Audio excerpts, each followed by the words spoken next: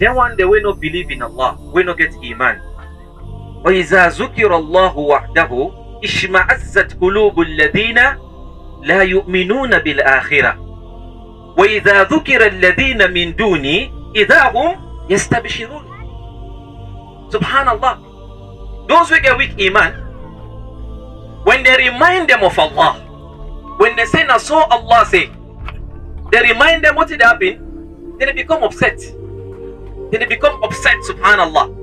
As long as it concerns the remembrance of Allah mentioning of Allah then they become upset. But when they mention other things and beside Allah idahum yastabishirun if they mention Manchester it is gladi pass mad. Some man and I talk. Oh man loud the volume. Loud the volume. Subhanallah. When they mention Arsenal the volume subhanallah when they mention anything concerning dunya it is loud the volume but if they mention Allah you say oh not we have for lecture go wait na mocks Is they happy or not they happen? A Muslim then will tell you the Muslim. He say, oh man, you're not supposed to have for lecture. Now you're back.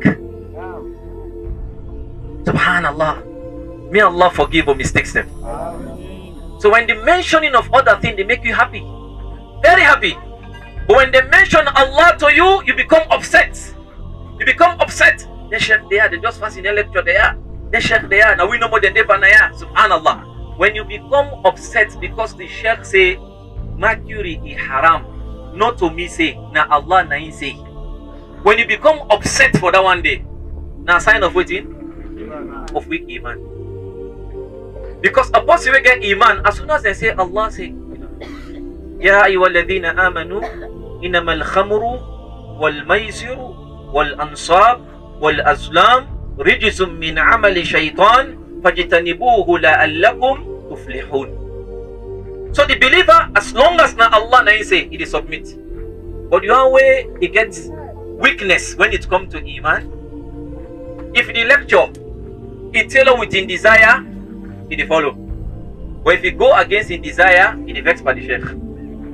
There are times after the Juma, you know they can't greet yourself. This is an integral problem.